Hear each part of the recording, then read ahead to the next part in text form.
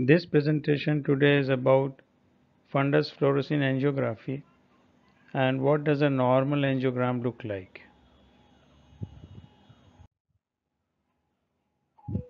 So basically fundus fluorescein angiography is one technique by which we can visualize the retinal blood circulation and this can be documented in various phases and this was first discovered by two students in Indiana University. I don't actually remember their names, but this was way back in 1960s when this was discovered and fun, and then later on worked upon and the technique has evolved that now we can have digital fundus photography also available using this fluorescein dye and this involves use of a dedicated fundus camera which has a excitation and barrier filter. And as we can see here the dye is injected 20% fluorescein dye is injected about 2 ml of this is injected in the cubital fossa veins. And this reaches to the left uh, to the venous side of the circulation and from there it is pumped into the arterial blood flow and it reaches to the retinal surface retinal uh, tissue and the blood vessels. One characteristic about this dye is that majority of it is bound into the blood proteins so very less is there to leak out from the blood vessels of the retina which are having tight junctions and no dye can leak out out of it. So basically it will visualize all the normal blood vessels and the dye doesn't leak out so it provides us that contrast and at the same time any incompetent blood vessel which is leaking will have the dye also leaking out and that can be visualized as a leak and also some tissues which will take a stain of this dye. So the technique involves that the white light is pass through the blue excitation filter. And this blue light wavelength is something like 465 to 490 nanometers. And when this is absorbed by unbound fluorescein it changes its wavelength and it gives out a green color fluorescence. And this has a longer wavelength which falls in the yellow to green spectrum which is 520 to 530 nanometers and that is why we have that green color fluorescence seen when we whenever we throw white light. And this filter basically corresponds to the cobalt blue filter which we have routinely seen in our slit lamps and ophthalmoscopes. And this is the light which is emitted. Now if we place a barrier filter into the path of the incoming light towards us which is reflected from the retinal surface and retinal blood vessels it will capture only the tissue which is having the dye and that enhances the contrast. So basically the process involves that you inject the dye in the cubital vein and then you wait for 10 seconds and then you start clicking the photos and as the dye comes into the retinal circulation it can be visualized as blood vessels fill up this dye and they reflect the green fluorescence and this is what we are going to see in this presentation. So again just reminding us that this is the blue filter which is the excitation filter. So it filters out rest of the spectrum and allows only the blue light to go into the cavity of the eye to be incident on the retinal blood vessels. And then this light which is gone inside and is coming out. So then you will have blue light as well as the green fluorescent light which is reflected from the excited fluorescein molecule. And then we have a barrier filter which will filter out this blue light and it will only allow the green light to come into the camera. And so this will enhance the contrast and we will see. So fundus fluorescein angiography involves various phases. This will depend on the blood circulation. And first to understand that we have artery then we have capillary and then we have the vein. So arterial phase involves that the dye enters into the arterial circulation which is quite fast something like 10 to 12 seconds and then it goes into the capillaries which cannot be individually identified and then we have the veins so this is what the circulation of the retina will consist of in the arterial phase the dye will enter into the artery. It can be seen. Capillaries are empty. The veins are empty. And then we have arteriovenous phase when the capillaries fill up. The vein starts filling up and this fills up from the sides. So the central lumen will remain empty for a while and the side will have start having fluorescence. So this will appear like a laminar flow. And then we have the venous phase when the arteries become empty and the capillaries are filled up and the venous phase. Then we have the recirculation phase and late phase. And we'll go ahead and see all of these phases in this particular uh, normal angiogram of a person. So any fundus fluorescein angiography when it is done it consists of few images which are standard before injecting the dye and one of them is the standard color fundus photograph.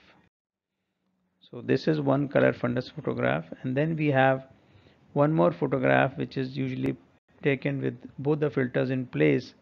And this will not only check for any discrepancy or leakage of the light but also check for any structure which is autofluorescence. So we have some structures in the retina which will fluorescent without presence of dye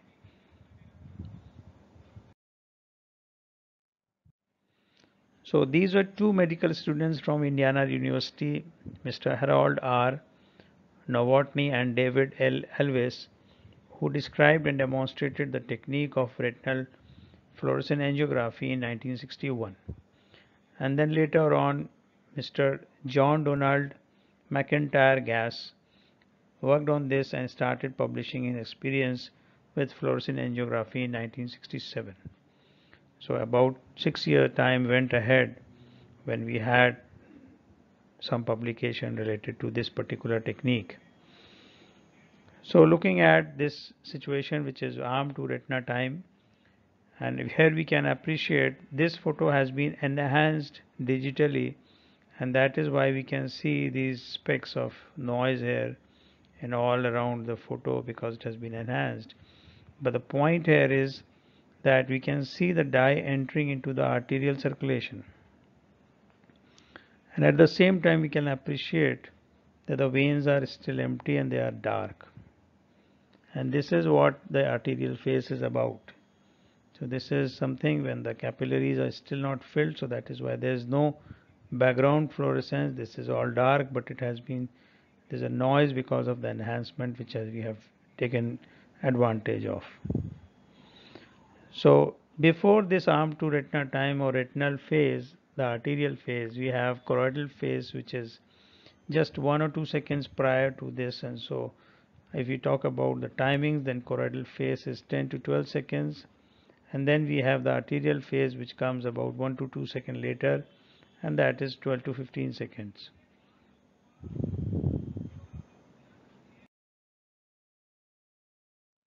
So in this zoomed in photograph we can appreciate the empty veins.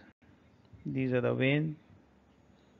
They are empty and these are the arteries which are still having the dye which is causing the fluorescence and they can be visualized.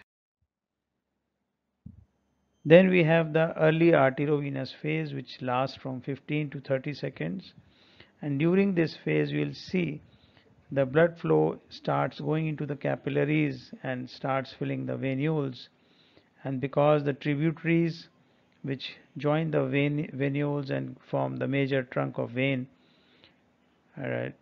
they start carrying the fluorescent dye into the circulation the venous circulation.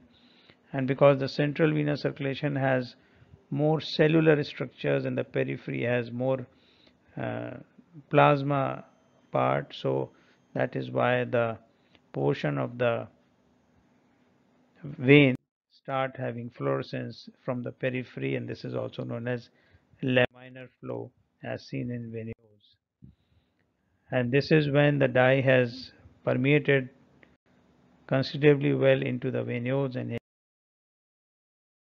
can see this railroad track kind of picture of these veins where we have two lines which are providing us the fluorescence and the central cavity which is empty. Empty means it doesn't have fluorescent dye yet. It does have the blood being in circulation. As the time passes by the there's gradual filling of these venules and the laminar flow gradually gets replaced by a more and more central core filling of the blood vessel by the dye. Then we start having the late arteriovenous phase when this laminar flow nearly disappears and we now have the vein which is nearly completely filled with the dye. So here we can see that and we can appreciate that now the veins are more bright compared to the artery. So this is the vein, this is the artery and this is the vein. So continuing with the late arteriovenous phase when artery vein both start having similar amount of brightness and content of the dye and this is the phase about 30 seconds from the point of injection where we can appreciate the foveal avascular zone best. So this is that central area where we have no blood vessels because the retinal tissues are splayed apart so we don't have any blood vessel here and that is known as foveal avascular zone which is something like 500 micron in size and it is horizontally oval and can be appreciated best at this time that is 30 to 35 seconds of the angiogram phase. And then comes the recirculation phase when this will last from about 3 minutes to 10 minutes where we'll have continuous fading of the fluorescence in the arteries and progressively increased fluorescence in the vein and this will gradually fade out as you'll see. And here we can appreciate that this is the artery which is less bright compared to the vein which is brighter and then it comes to the late phase when it is 10 to 30 minutes where we start seeing that the dye has gradually disappeared from the circulation. But there are few structures in the fundus which take up this dye and this is known as staining. And we'll appreciate that here we can